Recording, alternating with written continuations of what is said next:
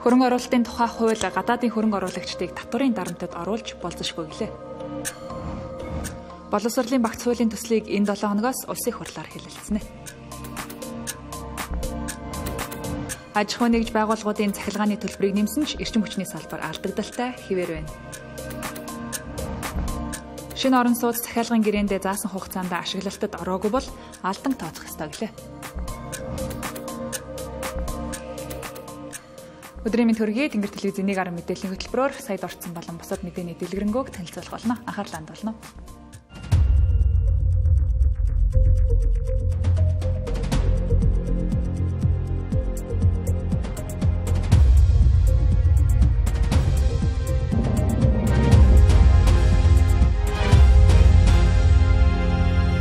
Эдийн засаг хөгжлийн яам хөрөнгө оруулалтын тухай хуулийн шинжилсэн найруулгын төсөлд олон нийтийн саналыг авч эхлээд байна. Шинэ хуулийн төсөлд гадаадын хөрөнгө оруулагчдыг үргээдэг гол алдаагаа засаж залруулахад чиглэсэн оновчтой заалтууд орсон хэдий ч шүүмжлэлтэй зүйлс мөн байгааг хөндлөнгийн шинжээчд хэлж байна. Тухайлх юм бол гадаадын хөрөнгө оруулагчдын хамгийн их татвар татварын дэмжлэг үзүүлэхийн тулд зарим төрлийн татварын хураамжийг 3 жилийн хугацаанд хойшлуулж болно гэж заасан байдаг бол харин бизнес эрхлэгчдийн татварын хоригдлогцсон өр төлбөрт унгах эрсдэлтэй гэж эдийн засагчид үзэж байна. Харин гадаадын хөрөнгө оруулагчтай үүссэн маргааныг тухайд одоогийн хуулиар үүссэн маргааныг дунджаар 6 жилийн хугацаанд шийддэг. Тэгвэл хууль шинжлэгдснээр хөрөнгө оруулагчийг хамгаалах эрх зүйн тогтолцоо сайжирч хэрэг маргааныг цаг алдалгүй шийдвэрлэх боломж бүрдэнэ гэж хэллээ хөрөнгө оруулалтын хуулиуд бол олон ололттой зүйлүүд байгаа л да. Одоо тухайлбал хөрөнгө оруулалтын одоо босхийг бол 100 сая долларыг бол хүссэн байна те. За арбитрийг оруулж ирсэн байна. Гэхдээ бид нар ерөнхий дүгнэлт бол энэ хууль маань өөрөө одоо бүсийн хэмжээнд өрсөлдөхүйц хэмжээний одоо хөрөнгө оруулалтын урамшууллыг олгож байгаа хуулийн төсөл гэж харахгүй байна.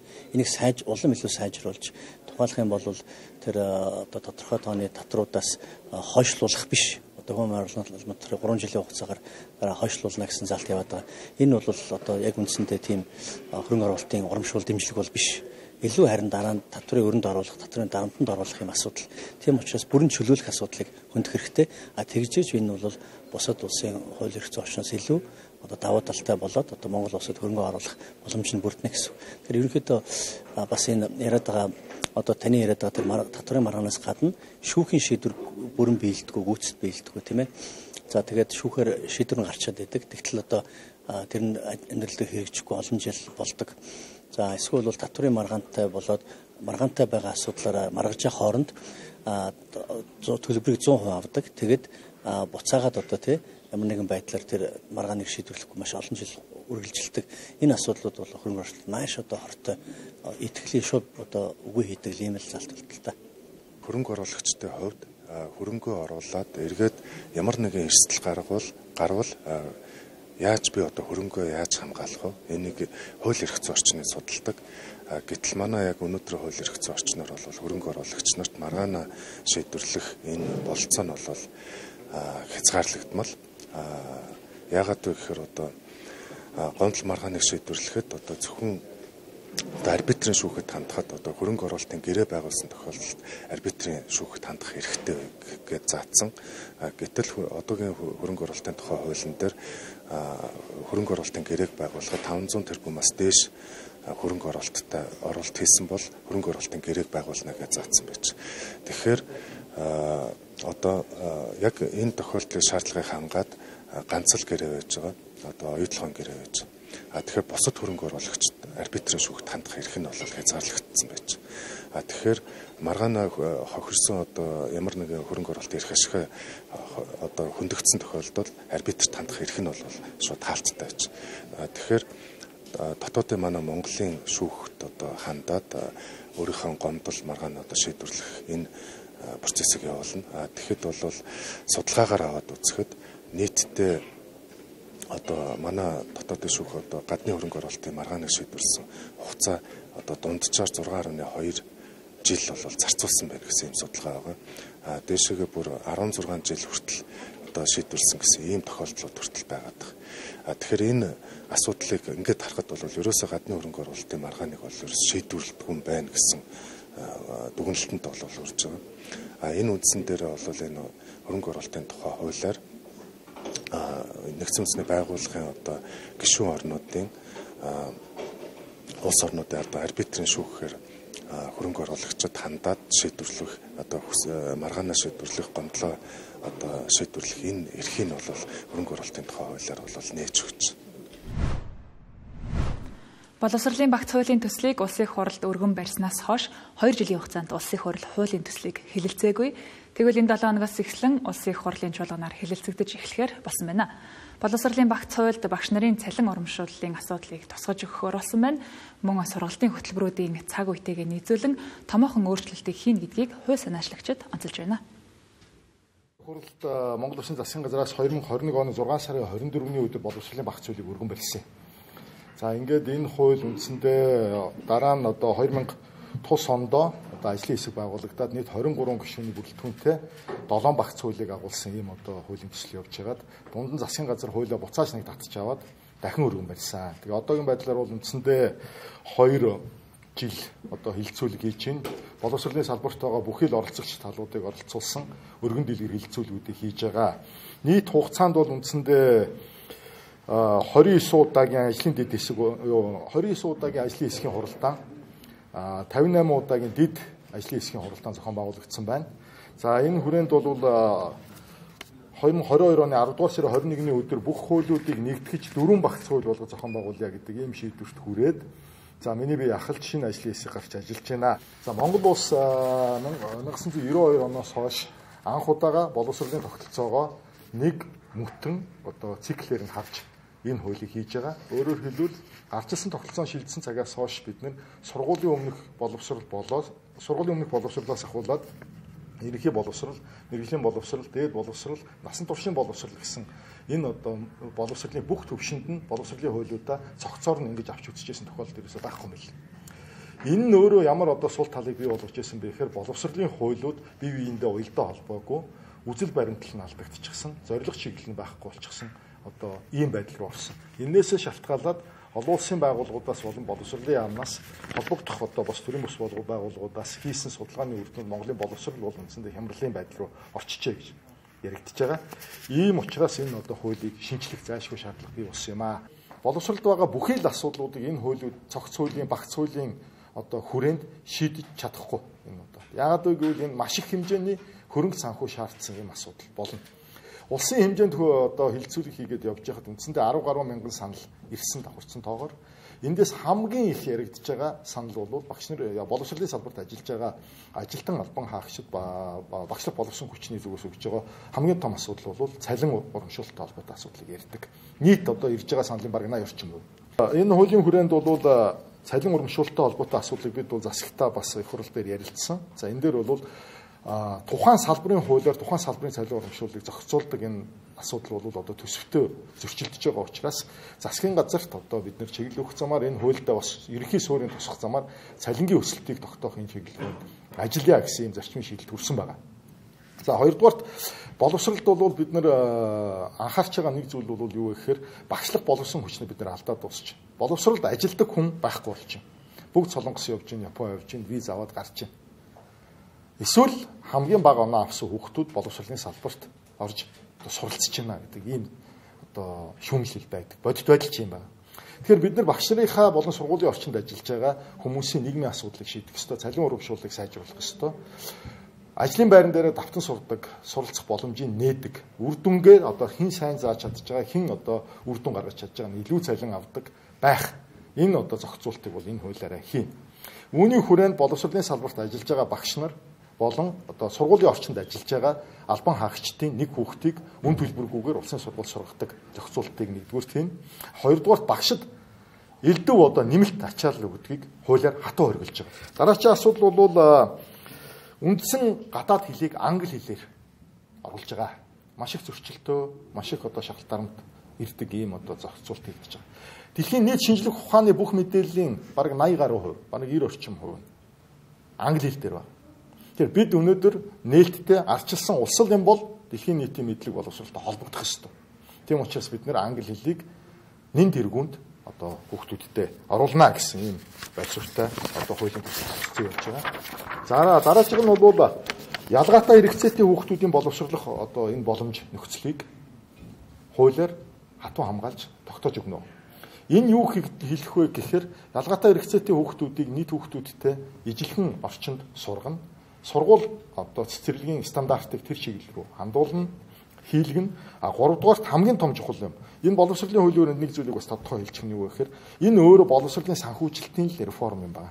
Боловсролын одоо энэ хуулийн реформ бол тэгэхээр ялгаатай хэрэгцээтэй хүүхдүүдэд хувьсах зардлыг тусгаалan илүү урамшуулж олгодог энэ тогтолцоо руу шилжинэ. Мөн нэмэлтээр нэг зүйлийг бас хэлэхэд хөдөө орон нутгийн боловсролыг одоо тогтолцоо одоо боловсролын чанар Улаанбаатар төвс өрн газрын боловсролын чанар бол зөрүүтэй байна гэж ярьдаг. Хөдөө орон нутагт сайн багш очихгүй байна. Хөдөө орон нутагт одоо сайн тоног төхөөрөмж очихгүй байна.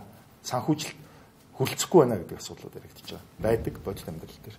Тэгэхээр энийг бид бол хувьсах зардал болон тогтмол зардлыг орон одоо орон нутгийн асалсан байдлаар самаарад илүү өндөрөөр тогтоож өгдөг энэ эрх зүйн зохицуултыг энэ хуулиндаа бид тусгаж өгч байгаа.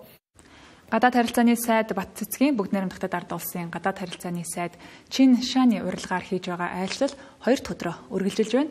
Энэхүү айлчлалын хүрээнд одоогийн байдлаар 8 чиглэлээр хамтран ажиллахаар тохиролцсон талаар гадаад харилцааны яамнаас мэдээллээ. Тухайлх юм бол хоёр улсын худалдааны эргэлтийг ойрын хугацаанд 20 тэрбум Америк долларт хүрэхээс гадна уулуурхай хөдөө аж ахуйн бараа бүтээгдэхүүний экспортыг нэмэгдүүлэх чиглэлээр ажиллахаар болжээ. Мөн Монгол улсад төмөр замын бомбыг нэмж одоо хийгдэж байгаа бүтээн байгуулалтыг эрчимжүүлэх нар салхины эрчим хүчний нөөц бололцоог төшиглэн шинэ эрчим хүчний салбарт хамтран ажиллах боломжийг судлах зэрэг асуудлуудыг хөндөж байгаа юм а. Энэ удаагийн албан ёсны хэлэлцээний үеэр хоёр улсын гадаад харилцааны сайд нар Монгол улсын ерөнхий сайд оюун эрднийг бүгд найрамдагтад ард улсад хийхээр төлөвлөж байгаа айлчлалын бэлтгэлийг сайтар хангаж энэ хүрээнд хоёр талын холбогдох байгууллагуудын харилцаа холбоог эрчимжүүлэх талаар санал солилцжээ. Дараагийн мэдээ хүргэе. Монголд үйлдвэрлэгдэж байгаа өртгөөсөө хямд үнээр худалдаалагддаг ганцхан зүйл нь эрчим хүчим эрчим хүчим тэгэхээр цахилгаан үйлдвэрлэхийн тулд 224 төгрөгийг зарцуулдагч эргээд 175 төгрөгөөр худалдаалж ирсэн.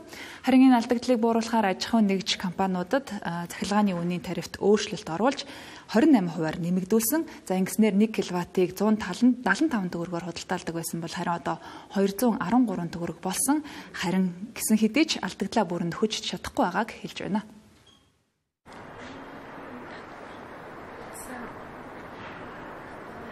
Цахилгаан дулааны нийт эрчим хүчний орлогын 80 орчим хувийг бол энэ аж ахуй нэгж байгууллагуудын төлбөр бол эзэлдэг байгаа. За энэ аж ахуй нэгж байгууллагууд дээр цахилгаан дулааны үн бол дунджаар 28 орчим хувиар нэмэгдсэн байгаа. Энэ нь бол жилдээ нэг 288 орчим тэрбум төгрөгийн нэмэлт орлогыг эрчим хүчний салбарт орлого олох ийм нөхцөлийг бол бүрдүүлсэн байгаа. Ер нь бол 432 тэрбум төгрөгийн хөрөнгийн хэрэгцээ шаардлага байна гэсэн тооцоо судалгаа тухайн үед гарч ирсэн. Тэгэхээр бид нэр ямар ч байсан 288 тэрбум төгрөгийн нэмэлт орлогын их үүсвэрээс шаардлагатай одоо зардлыг санхүүжүүлэх арга хэмжээг аваад эхэлсэн байгаа. Үүнд бол уурхаануудын нүүрсний үнийн асуудал, за эрчим хүчний компаниудын цалин үлсний асуудал, засвар үйлчлэгээний зардлын асуудал цаа импортын Оросын улбаны улсын импортын цахилгаан эрчим хүчний төлбөрийн гэх мэт одоо за зардлуудын тодорхой хэсгийг бол энэ нэмэлт орлогын их усрээр бол шийдэж байгаа.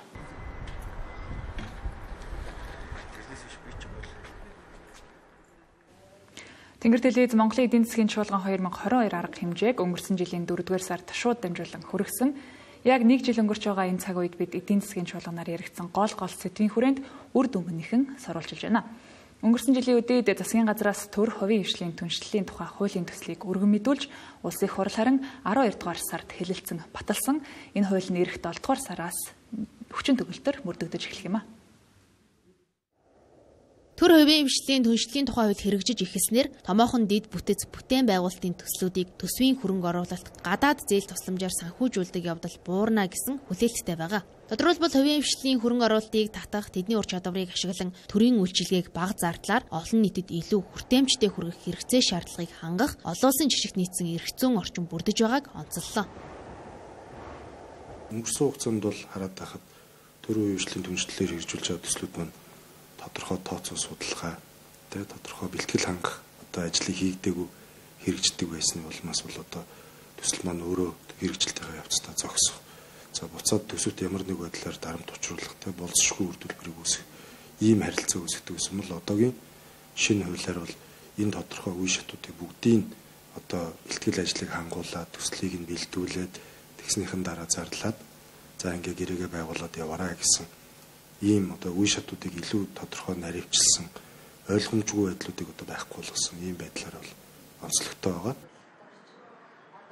Төр хувийн хвшлийн түншлэлийн тухай хууль хэрэгжиж эхэлснээр концессийн тухай хууль хүчингүй болно. Учир нь концесс нь төр хувийн хвшлийн түншлэлийн тухай хуулийн нэг хэсэг буюу энэ дотроо агуулгаддаг. Мөн энэ хууль нь батлаа хамгаалах банк санхүүгээс бусад салбар буюу нийтийн зориулалтад дид бүтэц зам тээвэр зэрэг салбарт үйлчлэх юм. Үүнд нисэх буудал, төмөр зам, барилга байгууламж, нийтийн тээвэр, эрүүл мэнд, боловсрал, соёл, спортын объектууд зэрэг гол төлөв нийтийн шин чанартай объектууд хамаарна гэлээ.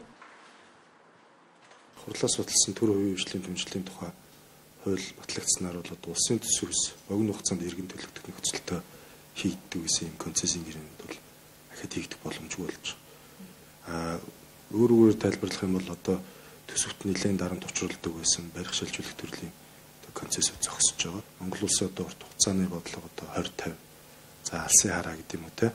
За дээрээс нь шин сэргэлтийн бодлогод туссан урт болон дунд хугацааны одоо засгийн газрын за зорилттой хөтөлбөрүүд туссан төслүүдийг л зөвхөн одоо хэрэгжүүлнэ гэж заашж байгаа. Тэгэхээр ямар нэг одоо яам за эсвэл хувь хүн санаачлаад гараад ирсэн шууд төслийг хэрэгжүүлэхээс илүү уг төсөл нь өөрөө улсын одоо том хэмжээний урт хугацааны бодлоготой нийцэж гин үгүй юу гэдгийг одоо эхлээд шалгаж иж уг төсөл маань хэрэгжихээр ийм шалгуулалтыг тусгасан байна. Өмнө нь хувийн хвшил ашигтайгаа сонгож хийдэг байсан бол энэ хууль хэрэгжиж эхэлснээр нийгмийн хариуцлагын хүрээнд тодорхой төсөл хөтөлбөрүүдийг хэрэгжүүлэхээр болж байна. Өөрөөр хэлбэл төр урт хугацаанд санхүүжилт хийж хувийн хвшил түүнийг авч явна. Тэр хувийн хвшлийн түншлэлийн тухай хууль хэрэгжиж эхэлснээр олон улс дахь Монгол улсын үнэлгээ сайжирна гэдгийг онцолж байсан юм а. Үүнийгээ дагаад хөрөнгө оруулагчдын итгэл бий болж хөрөнгө оруулалт өсөж олон улсын технологи туршлага чадварыг нутагшуулах боломж нэгтэн гэлээ.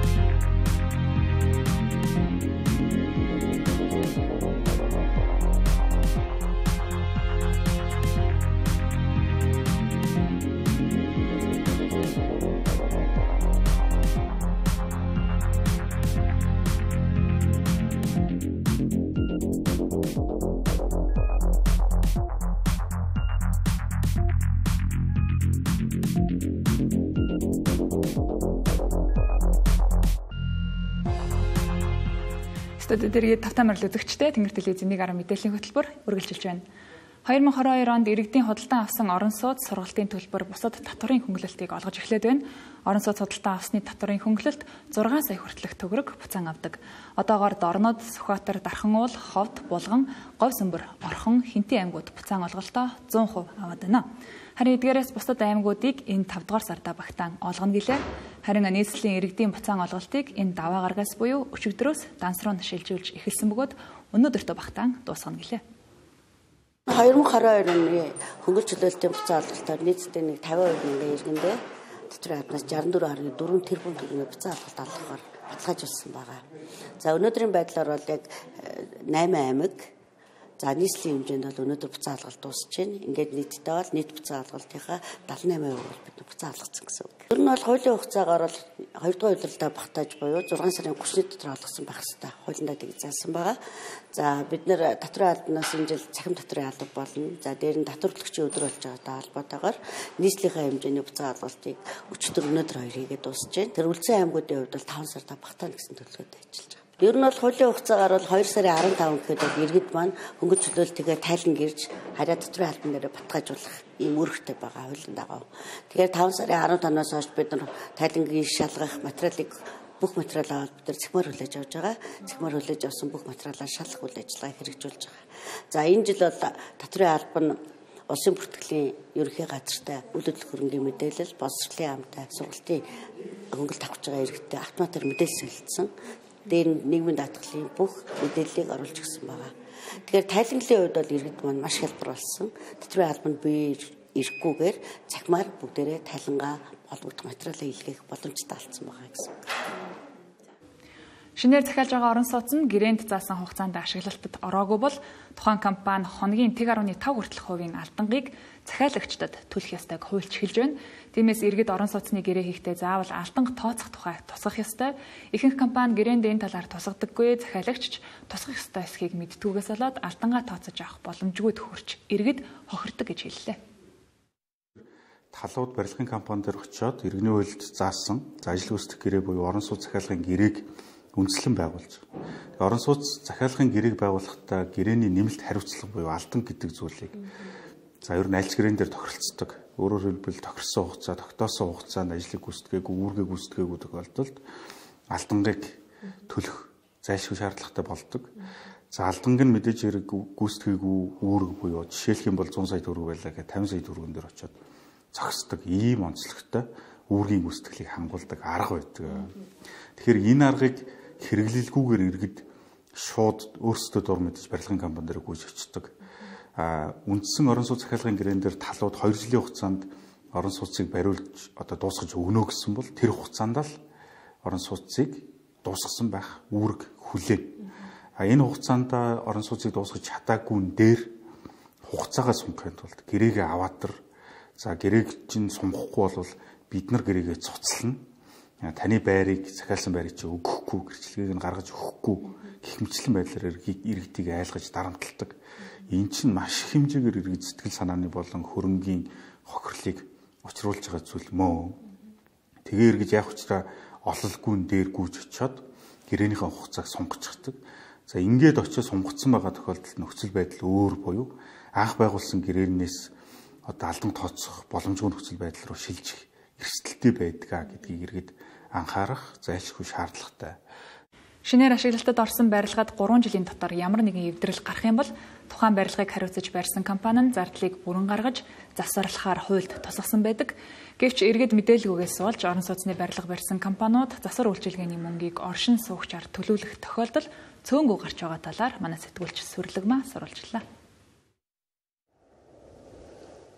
Орон сууцыг хүлээлгэн өгснөөс хойш 3 жилийн дотор ашиглалтын бус шалтгаанаар гарсан эвдрэл гэмтлийг гүйцэтгэгч компани өөрийн хөрөнгөөр засварлах ёстой. 3 жил өнгөрөхөд ашиглагч, гүйцэтгэгч, өмчлөгч хамтран үзлэг хийснээр баталгаат хугацаа дуусварладаг байна. Гэвч иргэд энэ хуулийн талаар төдийлөн мэдээлэлгүй байна.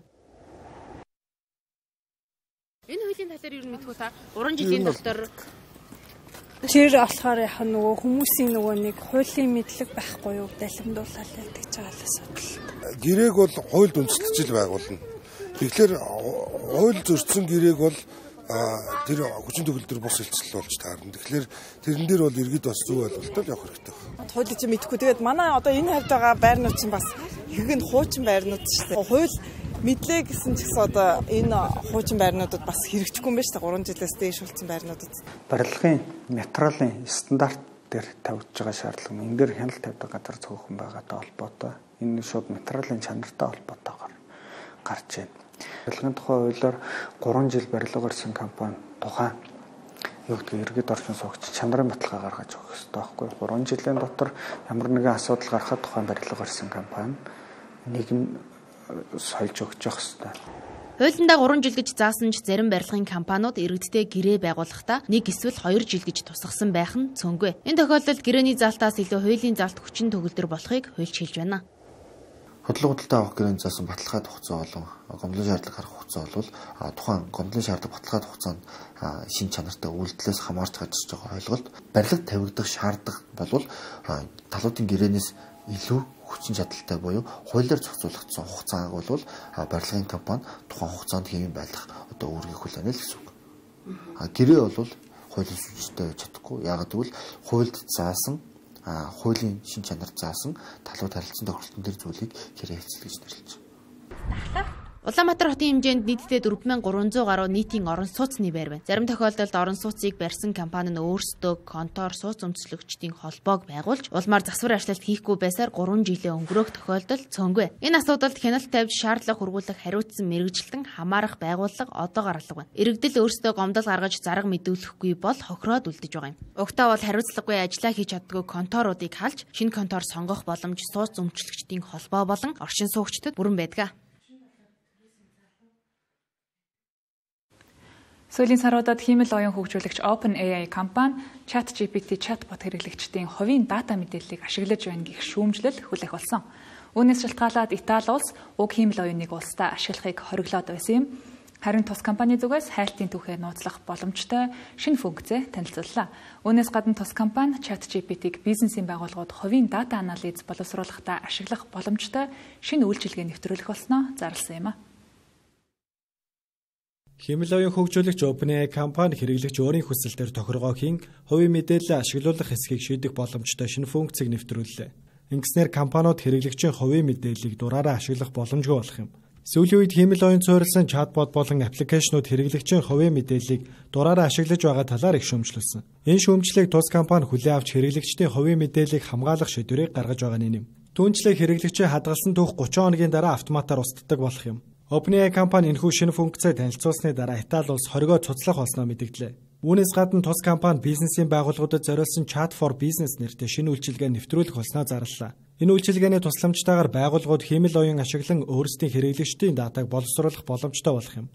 Мөн энэхүү шинэ үйлчилгээний хэрэглэж компаниудын дата OpenAI компани хиймэл оюун хөгжүүлэлтэнд ашиглагдахгүй гэдгийг онцоллоо. Тэд эх саруудад энэхүү шинэ үйлчилгээг нэвтрүүлэхэд төлөвлөж байна. OpenAI компани ChatGPT чатботын хэрэглээ өсгийн хэрээр илүү олон сонголттой төлбөртэй үйлчилгээнүүдийг нэвтрүүлж магадгүй байна.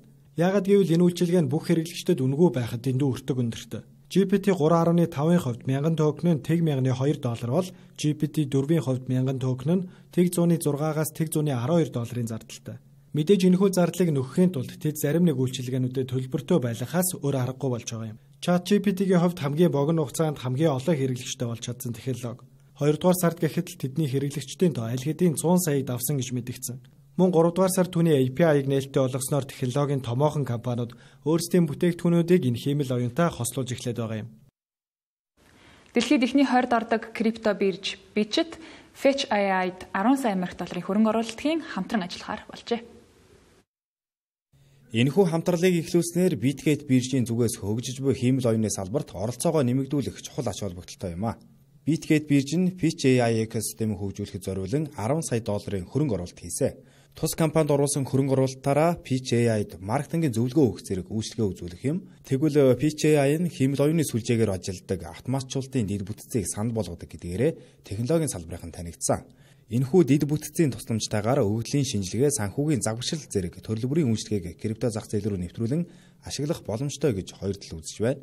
Энэхүү үйл явдалтай холбогдуулан Bitget биржийн менежер Грис PCI-ын тусламжтай хиймэл оюуны зарим технологийн шийдлүүдийг аль хэдийнэ ашиглаад эхэлсэн талаар мөн мэдгдсэн. Тэрээр бид энэхүү ирээдүйтэй төслийг дэмжиж байгаагийн гол шалтгаан нь ирээдүйд гэлтгүй одооноос бид бүхэн хиймэл оюуны тусламжтай төсөөлшгүй маш олон зүйлийг хийх боломжтой.